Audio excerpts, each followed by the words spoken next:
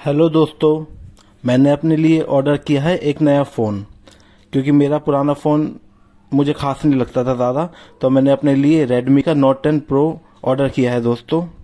और इस फ़ोन की कीमत है पंद्रह हज़ार रुपये मुझे एक हज़ार रुपये का डिस्काउंट मिला है इस फ़ोन पर, क्योंकि मैंने ये फ़ोन ऑनलाइन ऑर्डर किया है। अगर आप इसे दुकान पर जाके परचेस करेंगे तो ये फ़ोन आपको मिलेगा सोलह हज़ार रुपये का।